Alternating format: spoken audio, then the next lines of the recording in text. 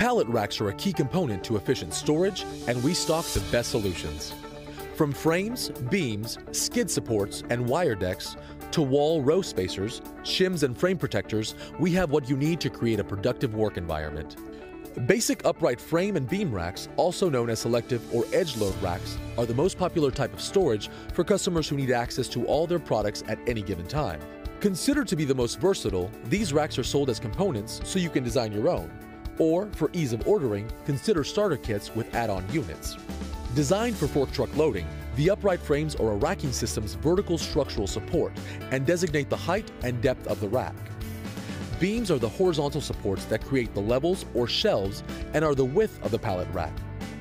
Edge loading is the most economical way to store pallets, as the pallet itself serves as the shelf.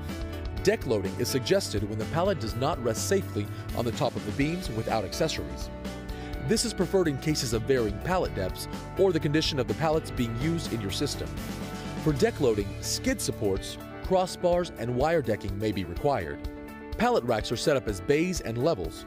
For example, a four-level rack consists of three shelves and the floor. Bays are the space between two upright frames. One bay would be made up of two frames and the required amount of beams or levels. The upright frame is a vertical structural support for your racking system. They mark the height and depth of the rack.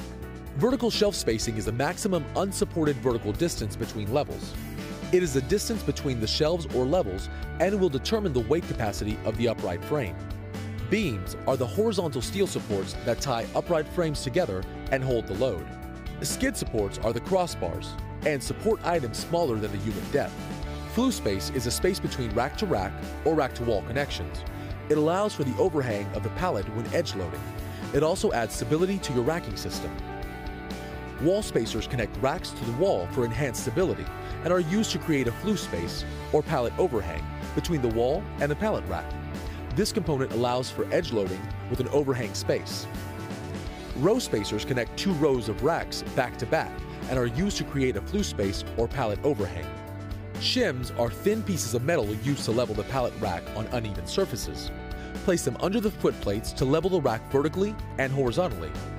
Wire decking promotes airflow and eases inventory checks. Use them as crossbars for pallets that are less than the depth of the rack, or for smaller, non-palletized packages. Solid steel decking turns the area between beams into usable shelving space, useful for smaller, non-palletized packages. Upright frame protectors minimize frame damage and offer cost-effective insurance against harm from material handling equipment. Now that you're familiar with the terms and components, check out our selection of pallet racks to create your optimal storage solution. To learn more about pallet rack accessories and components, see our additional videos.